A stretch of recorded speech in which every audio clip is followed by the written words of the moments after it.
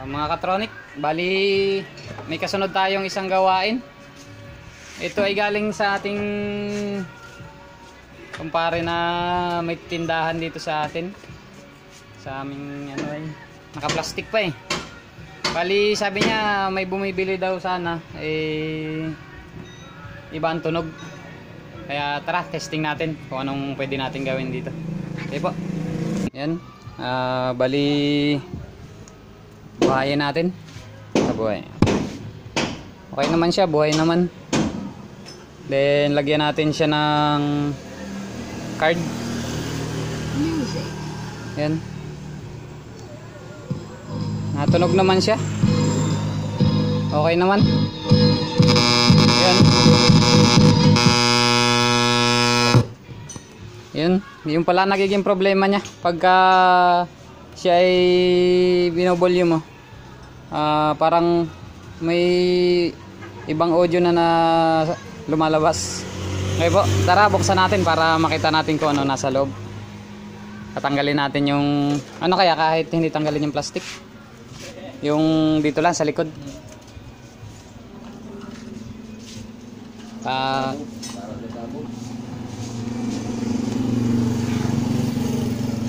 Kaya?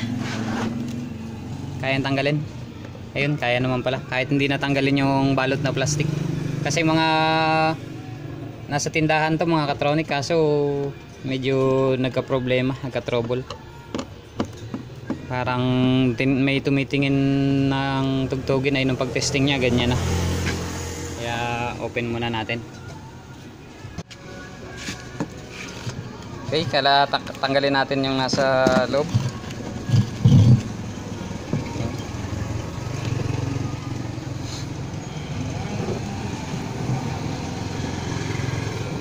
Okay, ayan pala ang kanyang nasa loob. Na kailangan nating masilip yung mga hinang.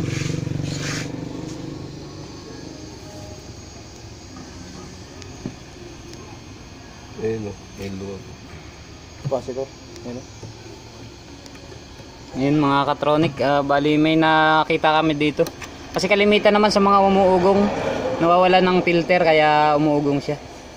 Siguro bago naman to, mag-resolder muna tayo, daming gabok. Ah, res para resolder ko lang sa kasamahan natin technician na si Sir Dave. Sir Dave, ah, kayang-kaya mo na resolder. Okay po.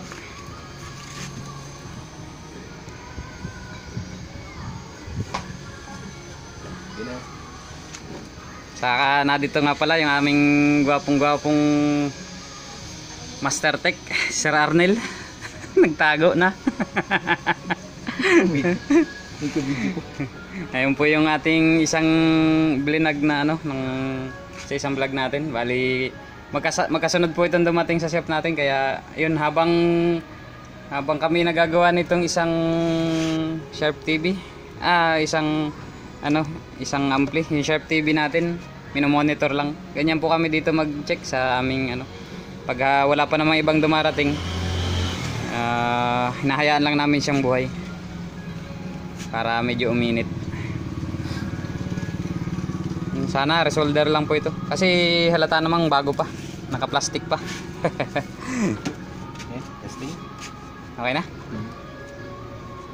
Ah resolder mo na rin para ito. Mga horizontal out ah horizontal out tuloy. Nagiging TV yung ating ano ah mga amplifier ano? Mga transistor. Palibasat ang dami tayong nire-repair kaya minsan yung transistor ng ampli no? Pagkamala na nating i-shout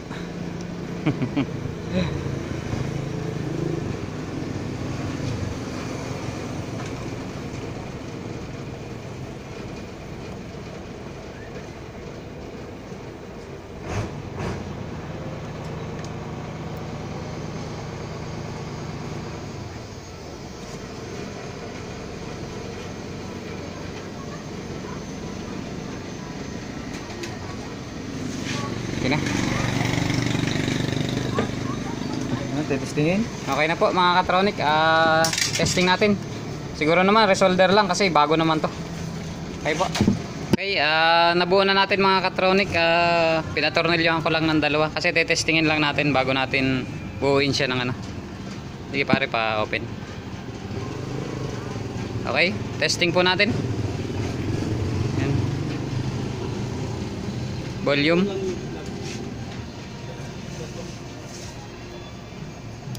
Music. Ayun, hindi pala nagre-read. Okay po.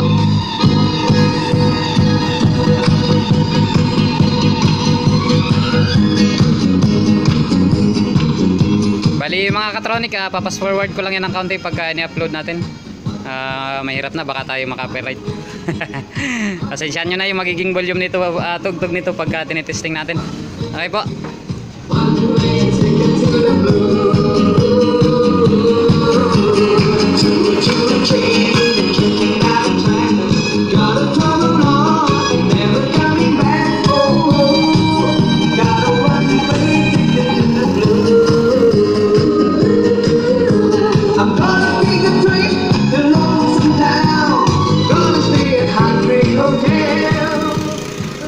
Okay na po mga katronik. Marami pong salamat. Okay na po mga katronik.